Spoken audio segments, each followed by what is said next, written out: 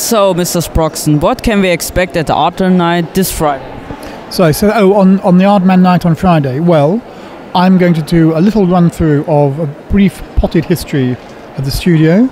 I'm going to show a few clips, um, a couple of little stories about our travel through time, and I'm going to show a very small teaser trailer for the next film that Nick Park's making, Early Man. I've read that you are one of the creative masterminds behind Aardman. What does it mean? Uh, well, I'm co founder of Aardman with Peter Lord, so I oversee a lot of the work that comes out of the studio. My background actually is camera work and lighting, uh, and I guess my skills are kind of editorial. So I come in at the some of the writing stages. Um, when it goes into production, people get on with that. We have big crews that, that put our films together, and then when we come back to editing and post production, I come back in then and help oversee some of that work. Where did you get your inspiration from? We just go down a shop and buy, buy the kilo. Uh, getting inspiration is is a question we get asked a lot. Where do we get ideas from? And actually, you just you just have to work on them. So we all spend a long time working up ideas, working with writers. So on a feature film, for example, animated feature film, the whole process will take maybe best part of five years, and probably three and a half of those years is actually writing and storyboarding the film. So it's a long, drawn-out process as you try to get the film as good as you can. So there's a constant hunt for ideas. It's not something that you can just pick off trees. You have to work very hard at it. Um, do you have a favorite Aardman film as well? One of my favourites is still The Wrong Trousers. Uh, it's a very neat half-hour, 30-minute film. Um, there's almost a shot that you don't need in it. There's three characters and one talking part. And it's still, to my mind, I think one of the best films we've made. Do you have a favorite Aardman character as well?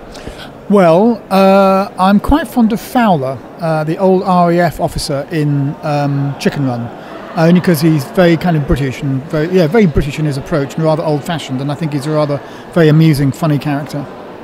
Which character from other studios do you like as well? Well, that's interesting. Um, looking at the output of DreamWorks and Disney and Pixar, um, and indeed the earlier work, things like Bugs Bunny, stuff like that. Uh, there's, there's, quite a lot of them actually. I don't know whether I've got a favourite. They come and go. I quite enjoy Shrek when he was on screen. Um, one of the newest Aardman projects seems to be Early Man.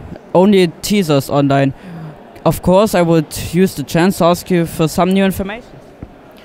Well, there's not a lot I can tell you about Early Man that you haven't already seen. It's an underdog sports movie set in the caveman era. Uh, we're in, well, we've just started shooting it in earnest. Uh, it's quite a big film. It's quite quite ambitious, uh, with two periods: the caveman period and the kind of Bronze Age period. And it's actually very funny. It's good fun um, and, a, and a lot to do in a relatively short space of time. So Aardman works a lot with clay. Maybe you can show us your skills, your skills, yeah. and make us a, a, small feature. So we have a character called Morph. Yes. Uh, you might have seen online. Yes, I see. And it's very simply made. I'll make, have to make a miniature version of him. We, we sort of extrude him. But I, th- these aren't my core skills. I'm not really a model maker, so this will be quite embarrassing for me, really. That's no problem. Yeah. But we, the way we make morph is we actually just this is weird stuff, very weird clay. We just kind of extrude him in a in a manner like this with his legs and his arms. A bit more of that. I hope this isn't live television. No, but YouTube. Right.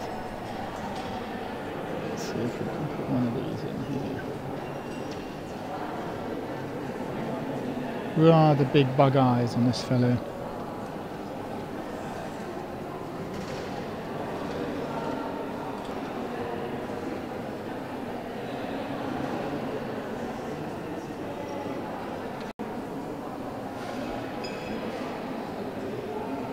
And away to the camera. There you go. Done. Thank God for that.